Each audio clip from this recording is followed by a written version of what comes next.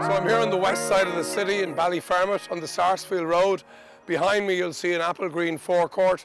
I'm about to meet the co-founder and COO of Applegreen, Joe Barrett. Uh, this is the site that started for them all those years ago and we're going to go on a journey in our Europcar up to another site in uh, Cherry Orchard and he's going to tell me the story of Applegreen and indeed his own career between now and then. So delighted to welcome Joe Barrett, the COO of Applegreen, uh, to his own location here in Ballyfermot on the Sarsfield Road. Joe, you're very welcome. Thanks very much, Bobby. Uh, would you believe this is our very first service station?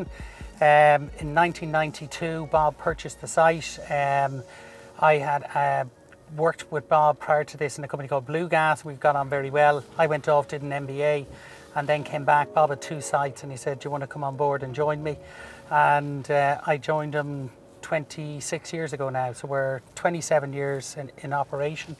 So it's it's a long way from Ballyfermot. And you and I uh, opened up the first barista uh, coffee machine in your site in Rathcoole, In which Rathcoole, was and probably about site number three or four, was Yeah, it? I think number five. It was Yeah. probably, it, to be honest, it was probably the first um, barista coffee offer in a service station in Ireland at that time, and it sort of went really, really well for us. And the whole idea then was just develop and grow our food business.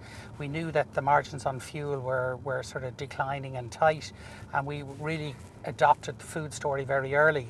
And it's just been a great, great success. It's all about bringing food to the forecourts and letting people know it's high quality food and low prices always on the, on the forecourt on the fuel. on the fuel. And we then developed our own Bakewell brand, which is the largest brand within our within our estate. And that really evolved our business away from just the small petrol filling station into Yeah. the big motorway service area site. Here's another one in Cherry Orchard, one of our early early locations. We'll pull in here and have a quick look. And you can see what it's about, Bobby. It's all about parking, ease of parking for customers, access to getting coffee and food to go inside in the shop, and getting your top up shopping, whether it's drinks and sweets and newspapers. Tell me about how important the car wash is, Joe, uh, as part of the overall mix. Yeah, car wash is a huge uh, generator of, of business uh, where people are now more car conscious. They're an expensive asset to have and they want to keep them clean. And I know there's a lot of talk as well about things like electric cars. And I think, if anything, that's people will just more and more conscious of what they drive and, and how they drive and how clean it is and how they look driving their car. What's the customer's biggest influencer to stop at a particular forecourt? Well, I think people will drive to get good value on the forecourt, uh, so they need a nice environment to be able to park, need it clean, and they need a good price. When they go inside, it's all about, for me, for now, they want really good quality food, a really good quality cup of coffee, and I think that's hugely important. And if you're a regular day to day customer, I think you're also looking for continued value. Joe, about retail in its format, about how people shop, how people live.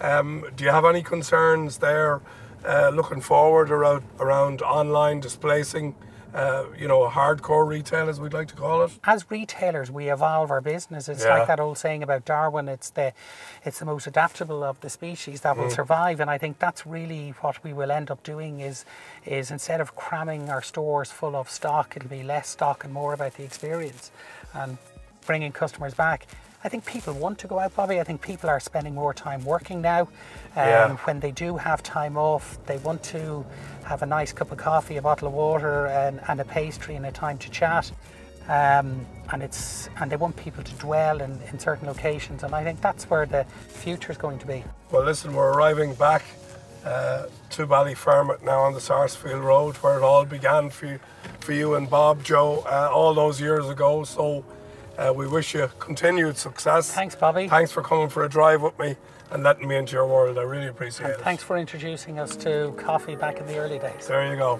Thanks a lot. Good man. Bobby. Bye. Thanks a million.